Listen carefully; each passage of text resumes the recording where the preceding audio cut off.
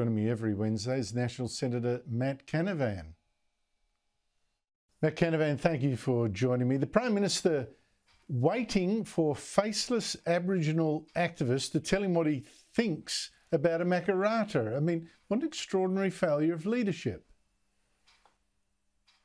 Well, it, it is, Andrew. Uh, I, I, mean, uh, we we think as a country that we are electing a, a prime minister at, at every election, and you'd expect that prime minister to be the one making decisions. But but here we have uh, a leader of the Labor Party that's harking back to to a previous era, as you've pointed out. That it seems to be there are a bunch of uh, faceless men and women, backroom men and women who are, are going to tell our Prime Minister uh, what to do. These people, of course, are unelected. The, the, backroom boys and girls here are unelected here, telling the Prime Minister what to do. And whatever they do tell the Prime Minister, he now has no mandate uh, to proceed with a treaty.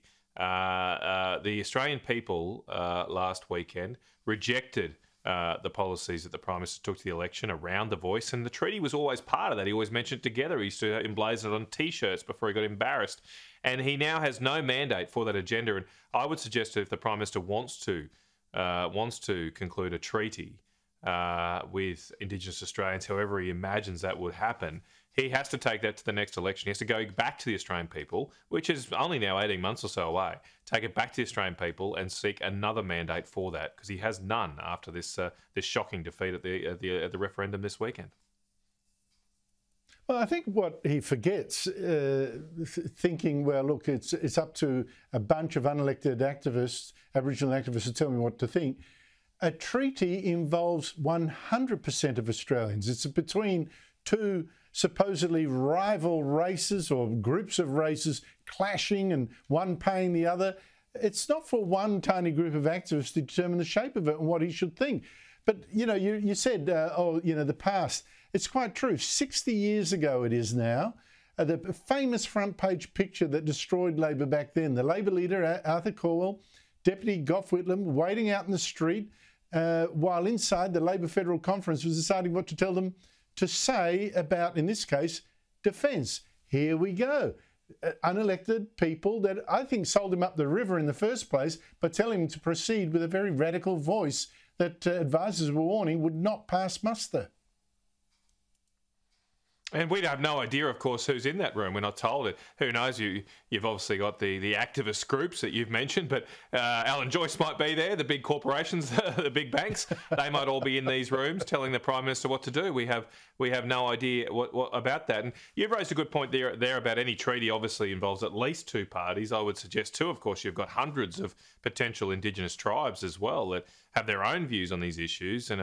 Uh, I think it's not right to treat them homogenous. I know, speaking to Aboriginal people, that they all have very different views, and I'm sure would have very different views about any proposed treaty. And of course, that other party is the Australian people, and that's why I say that any proposal for a treaty needs to go back to the Australian people at the next election. This time, it would be good for the Prime Minister to actually provide the detail uh, to the Australian people before he wants to do any treaty. And yeah, let's make the next election. The next election, if the Prime Minister wants, can be a referendum uh, on his proposed treaty. Let him do that if he's confident enough, if he's got the guts to do this. Let the Australian people have their say on this issue.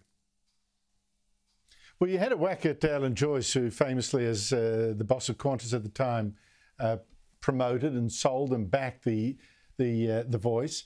Where is where are all those other businesses now? You know, the ones who donated $2 million of their shareholders' money without asking the shareholders, you know, like Wesfarmers and BHP and, and Rio, uh, Telstra, $1 million. Where are they all now? Uh, saying sorry or, you know, sorry to the shareholders for a start? Because I would have thought that with a vote this big against the voice, a lot of shareholders won't be happy their money went to funding only one side of this debate. Look, they do seem to be copping it at uh, at AGMs, and uh, don't they deserve to do that? Uh, they probably won't get any kind of reduction in their remuneration or what have you. But you know, I would hope, I would hope, and maybe I'm hoping against hope, but uh, all of these big corporations wanted to to back this voice, this what would have been a, a voice here from Canberra, largely reflecting their their principles and values. Isn't it about time that our big businesses, our our big organisations in this country, uh, try and listen So the, the voice is over now. Isn't it about time they actually listen to people? And you know, I would encourage them to get out and about, have your AGMs outside just the capital cities, talk to people, because there's a real growing divide uh, that that is that is being being widened here because people see that decisions on the ground in their community are being taken out of their hands. It's not just the big corporations. You've got activist shareholders like BlackRock and Vanguard, big superannuation funds who are making decisions about uh, the industries, uh, uh, the the the, uh, the the resource policies, uh, the energy policies that impact their real lives and their communities, and they've got no say on it, no voice. Uh, and this last weekend, they did get a vote, and boy, did they send a message to our big corporations. So let's hope they can listen to that because it's only if they do listen to that that we'll be able to put our country together again and and bridge this growing gap. Well, I'd like to see some of those executives take a pay haircut uh, to punish them for misspending uh, shareholders' money without permission on a campaign that, like I say, this vote suggests most of those shareholders would have objected to. Matt Canavan, thank you so much indeed for your time. Thanks, Andrew.